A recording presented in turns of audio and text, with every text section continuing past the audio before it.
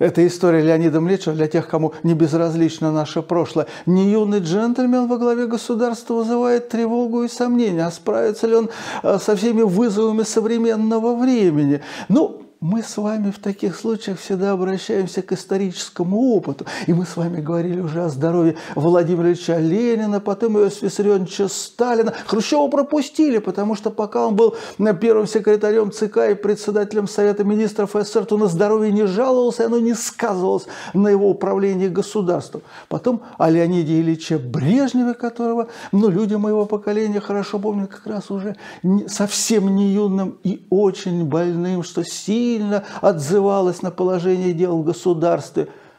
А теперь очередь Юрия Владимировича Андропова – одного из самых загадочных вождей советской эпохи. И не только потому, что он долгие годы руководил Комитетом государственной безопасности СССР, и все, что с этим связано, по большей части является тайной, а потому что вся его жизнь состоит из своего рода загадок. Когда-то, когда только рассекретил его личное дело, я в бывшем Центральном партийном архиве с волнением листал страницы и был, конечно, поражен его судьбой. По-своему по-моему, несчастный молодой человек остался без отца, без матери, воспитывался отчимом, бежал из дома, его чекисты ловили, возвращали домой, поехал учиться в далекий от родных мест город, потому что прочитал в газете, что там дают стипендию, предоставляют общежитие, и за ним и у него были большие трудности поначалу, потому что подозревали, что отец его был на самом деле белым офицером, что в 30-е годы было смертельно опасно, что дедушка его был купцом, и он потратил много сил и здоровья, опровергая все это изначально не был самым здоровым из всех советских вождей, но поначалу у него, были, его не призвали в вооруженные силы в Красную армию, потому что у него были проблемы со зрением вот, с самой юности. Так что в армии он не служил, что не помешало ему потом в должности председателя Комитета госбезопасности принять высокое звание генерала армии, полководческое. Ему нравилось позировать в мундире, потому что Поначалу генерал, на, погонах, на погонах генерала армии были четыре генеральские звезды, а потом на погонах появилась одна маршальская звезда, поэтому Юрий Владимирович Андропов был просто маршалом. На фотографии ему явно нравилось на нее смотреть. В 1966 году когда Юрий Владимирович Андропов был секретарем ЦК КПСС, его положили в больницу с очень неприятным диагнозом, опаснейшим диагнозом, инфаркт миокарда, и свое 50-летие он встретил на больничной койке. И врачи, которые им занимались, сказали, что ну, вам, наверное, следует оформить инвалидность и уйти на пенсию. А ему всего-навсего было 50 лет, это было бы крушением всей жизни. Но на его счастье к нему привели молодого тогда кардиолога Евгения Ивановича Чазова, который был блистательным диагностом. Его см... Чазова смутил диагноз, и он гипертонической болезни не нашел, а увидел, что проблема Юрия Владимировича с почками и с надпочечниками. Подобрал правильные лекарства, сердечные показатели пришли в норму, и Юрий Владимирович вернулся к большой деятельности. А через год а, Брежнев сделал его председателем КГБ, через какое-то время кандидатом в члены Политбюро, потом членом Политбюро. Андропов стал важнейшей для Брежнева фигуры и рассчитывал на многое. И в том числе хотел вернуться назад в аппарат ЦК КПСС, видя себя видимо, давно в нем сидела, следующим руководителем государства. Но почки его подвели. Чем дальше, тем хуже они работали. И дело было не только в том, что рацион его сократился до того немногого, что позволено тяжело больному человеку. И секретари, его помощники, которые не очень хорошо разбирались в медицине, удивлялись, что это Юрий Владимирович вместо того, чтобы как следует поесть, все ест протертое яблоко, пьет минеральную воду. Дело стояло в том, что почки его почти практически отказывались работать. И вариантов было два перед врачами. Потом уже рассказывали те, кто его лечил, что либо пересадить почку, но в те времена это еще была очень неразвитая часть хирургии, либо использовать искусственную почку, то есть класть его на гемодиализ. Это долгая, очень болезненная процедура э, очищения крови, которая это делает э, вместо человека аппаратура. И Юрий Владимирович Андропов уезжал в Центральную клиническую больницу на улице Тимошенко и по много много часов лежал там, э, пока ему делали эту процедуру, возвращался назад, и помощники, секретари его обращали внимание на свежие бинты, которые видны были э, под рубашкой на запястьях. Болезнь была еще опасна и тем, что она влияла на другие органы, что она вообще причиняла множество страданий. Это влияло на характер человека, как-то отсоединяло его от нормальной жизни. И еще в 1982 году, в феврале, Андропов побывал в Афганистане, где полыхала война, и говорят, что он там заболел, чем-то, возможно, заразиться. Это очень сильно сказалось на его здоровье. А Андропов знал, что Брежнев тяжело болен. Возможно, он был одним из немногих, кто об этом знал, потому что о состоянии здоровья членов Политбюро ему рассказывал Евгений Иванович Чазов. Вот тот самый врач, который его спас когда-то в 1966 году, и который заботился об Андропове, которого Брежнев поставил во главе Кремля кремлевской медицине. Евгений Иванович Чазов был заместителем министра здравоохранения, начальником 4 главного управления при Министерстве здравоохранения СССР. Он отвечал за здоровье всего начальства. Конечно, особенно он заботился о Леониде Ильиче и о членах Политбюро. А, Андропов постоянно встречался с Чазовым. Иногда Чазов приезжал к нему на Лубянку. Иногда они беседовали на одной из конспиративных квартир Комитета госбезопасности неподаль... в старом здании неподалеку от театра сатиры, потому что Андропов знал, что за всеми, кто к нему приезжает на Лубянку, присматривают два верных соратника Леонида Ильича, первые заместители председателя КГБ а, Цвигун и Ценев. А иногда Юрий Владимирович хотел с кем-то поговорить на коротке, чтобы никто не знал. Он встречался с Чазовым на конспиративных квартирах. И Евгений Иванович рассказывал о состоянии здоровья Брежнева. А в 1982 году умер второй человек в партии Михаил Андреевич Суслов. И долгое время должность оставалась вакантной. На нее претендовал Андропов. И Брежнев решил поставить Андропова на эту должность. И тут Леонид Ильичу, ну, мир не без добрых людей, стали рассказывать, что Андропов на самом деле тяжело боль. И Брежнев позвонил Чазову и сказал, слушай, а что у Юры со здоровьем? Что-то он ко мне приезжает, ничего не ест, говорит, ему соль нельзя совершенно есть. Ты мне скажи, он в каком вообще состоянии? Чазов, естественно, сообщил Андропову. Андропов попросил его, ну, Евгений Иванович, ну вы скажите, что я вполне вполне работоспособен. И Евгений Иванович Чазов нашел формулу э, сказать, что ну, Юрий Владимирович вполне может исполнять свои функции. Андропов стал вторым э, секретарем ЦК и понимал, что через какое-то время Леонид Ильич уйдет в мир иной. Но он не единственный кандидат, казалось, Андропову, потому что важную роль стал играть другой член Политбюро, секретарь ЦК и заведующий общим отделом э, ЦК Константин Устинович Черненко, который был очень близок э, к Брежневу. И у Андропова была большая тревога, а вдруг Брежнев э, выберет Черненко. Ну, Леонид Ильич ушел в мир иной, Юрий Владимирович Андропов стал э, генеральным секретарем ЦК КПСС, потом и председателем Президиума Верховного Совета СССР тяжело больным человеком он был. Он был по существу инвалидом. Не будь э, он руководителем партии и государства, конечно, его давно бы отправили домой отдыхать, но об этом не могло быть речи.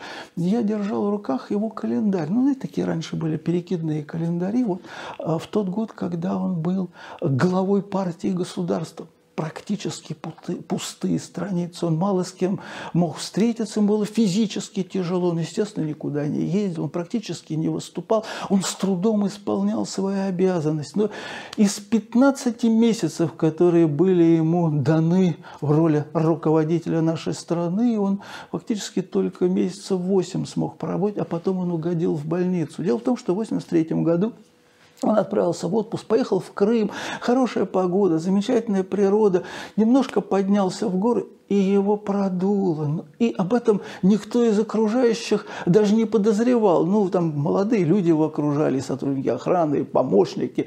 Им не приходило в голову, что для него это окажется роковым. Он себя его бил озноб, он не мог прийти в себя, его просто под руки ввели в самолет и привезли э, в Москву и сразу же положили в больницу, из которой он уже не выйдет.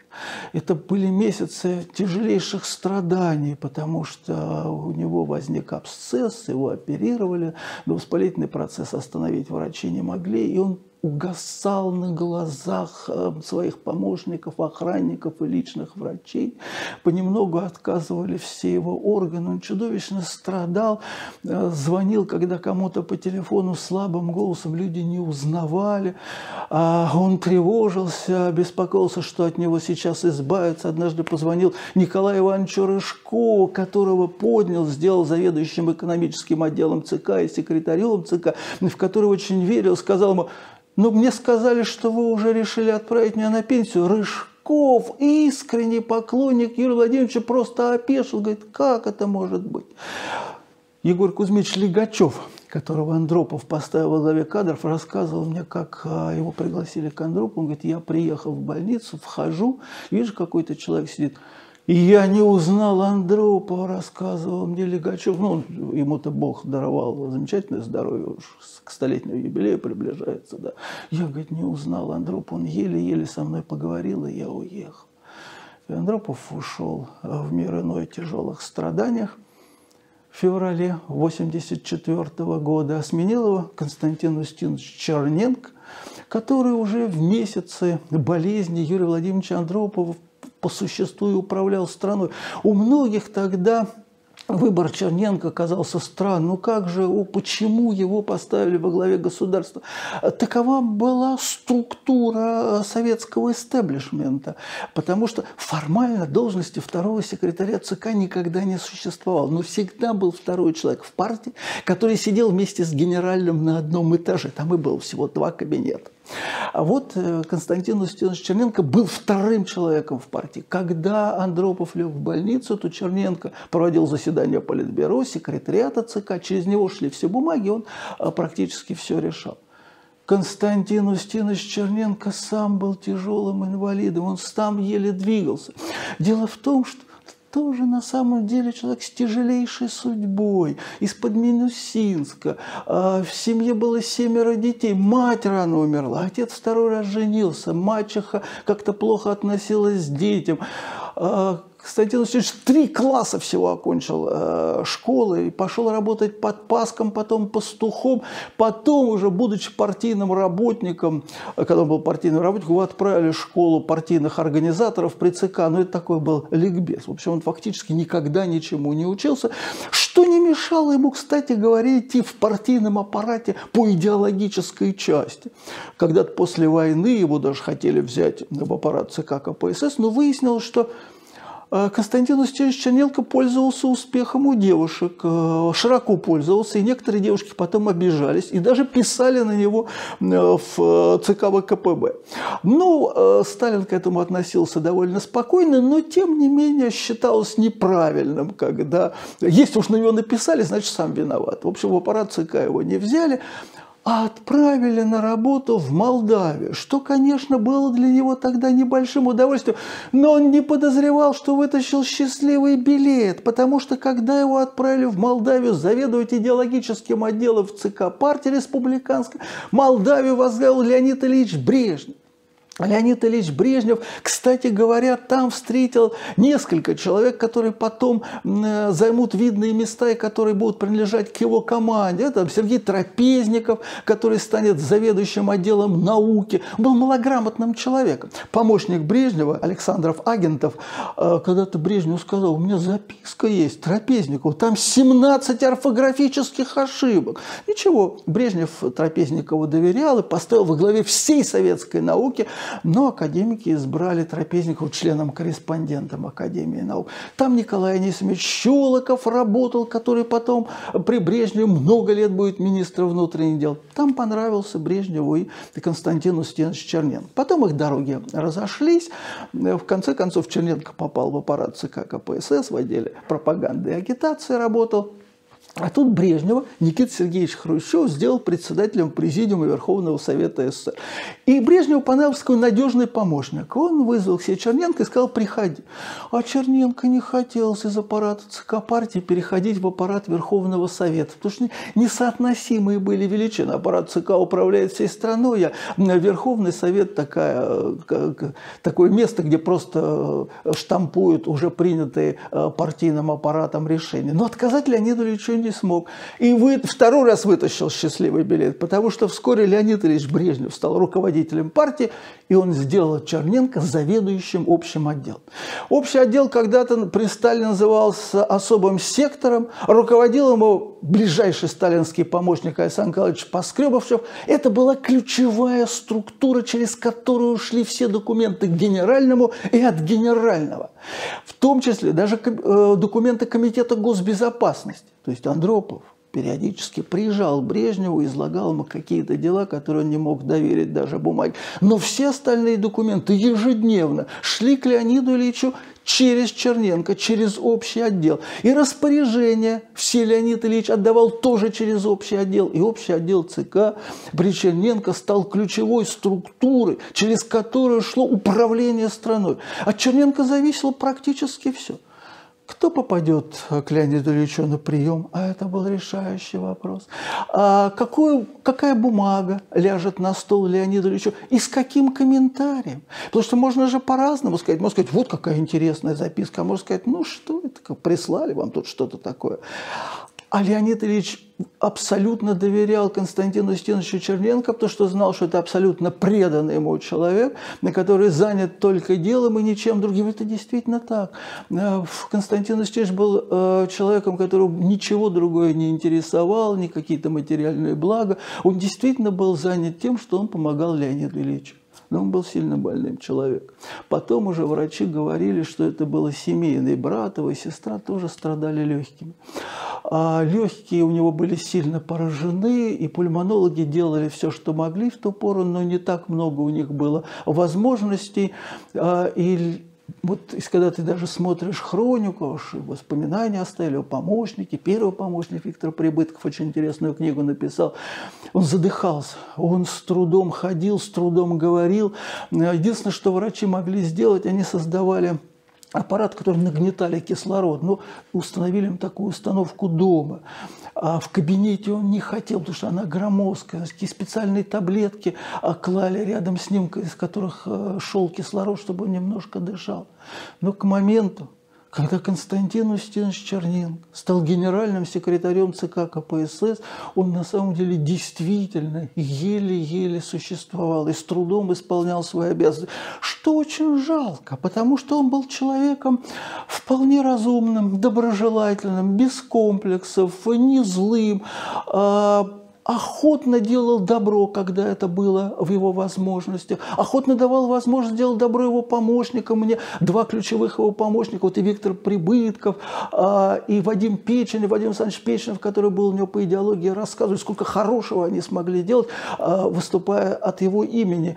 И он даже во внешней политике рассуждал очень разумно, а, принимая иностранную делегацию, вдруг сказал, бумаги были положены, подготовлены Министерство иностранных дел, сказал, ну что мы с вами все время конфликтуем? Почему мы с вами не можем дружить? И сидевший рядом министр иностранных дел Андрей Андреевич говорит, всполошился, потому что дружить-то можно было только с социалистическими странами. А Константин Устинович э, хотел наладить нормальные отношения и с западными государствами. Короче говоря, крайне, ну, можно крайне сожалеть, что он был таким тяжело больным человеком. Но э, тем, чем дальше, тем дело становилось хуже, он почти не покидал спецпалату на четвертом этаже в корпусе на Центральной клинической больнице. Там была специальная палата, отведенная для генерального секретаря.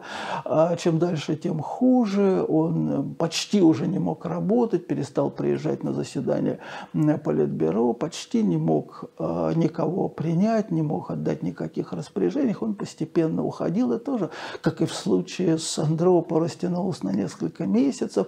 И в эти месяцы а, ключевой фигурой стал Михаил Сергеевич Горбачев. Но это уже а, другая история. Мы с вами впредь будем говорить о том, как здоровье, состояние физическое влияет на исполнение государственных обязанностей. Ну, чтобы не пропустить, ставьте лайки под этим видео и подписывайтесь на мой канал в YouTube.